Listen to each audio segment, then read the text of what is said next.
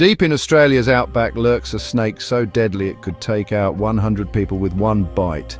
Meet the most venomous snake, the inland taipan, known as the fierce snake. This shy killer packs venom 50 times stronger than a rattlesnake's. We're diving into its lethal bite, outback life, and why it's nature's ultimate weapon, ready to face the deadliest snake alive. Let's go.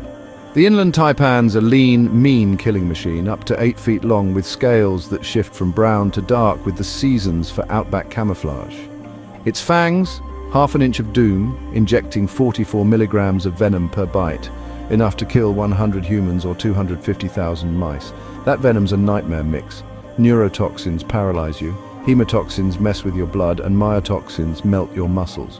One strike can drop prey, or you, in minutes. It's not just venomous, it's a precision predator evolved to rule the desert. This snake calls Australia's remote floodplains home, think Queensland's scorching wilds. It hides in burrows or soil cracks, hunting rats and small mammals with surgical strikes.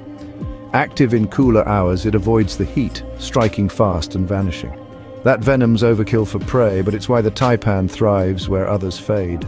Shy by nature, it'll flee humans unless cornered. Then, Multiple bites and you're racing the clock. Step on one, instant agony, dizziness, paralysis, bleeding, muscle breakdown. You've got an hour, maybe less, without help. Survivors call it torture.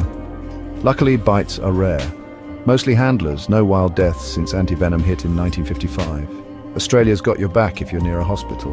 The inland taipan's not hunting you, it's just too good at what it does. That's the inland taipan, shy, fierce, unmatched. Drop note below if you're dodging this beast, or Taipan rules if you're awed. Like, subscribe and stick around, more wild killers are coming your way.